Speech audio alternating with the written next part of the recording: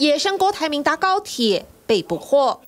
只是近点看这打赤脚的画面，据悉是郭台铭搭车习惯，不管是搭高铁或坐私家车都一样。但也被强调，因为鞋子好，就算不穿袜，脚也不会臭。而被拍下这天是三号下午，郭台铭拼选举新竹新北来回奔波，其中一场是这计程车工会活动。有一年特别预算，防疫特别预算八千多亿，竟然没有一块钱。到各位，你们就辛苦了，就杀你。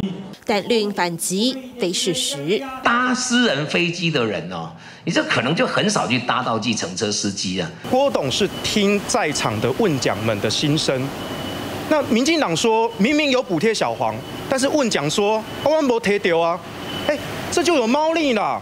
只是摊开过去三年政府的纾困补助，二零二零年疫情刚爆发，除现金三万块外，还有防疫物资跟游资补贴，令报名培训课也有补助。二零二一年三级警戒加码一万，共现金四万块。二零二二年随着疫情逐渐解封，谨慎补贴防疫物资五千元，期间还有转型防疫车队。疫情最严重的时候，那时候就是封，几乎接近封城，那时候都没生意。然后那时候就是封城完之后，政府有补贴，每个月一万块，总共三个月。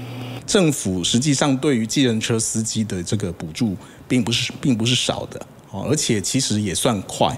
对，所以我想郭董可能要真的去问了解这个实际产业状况的人，再来发言会比较恰当。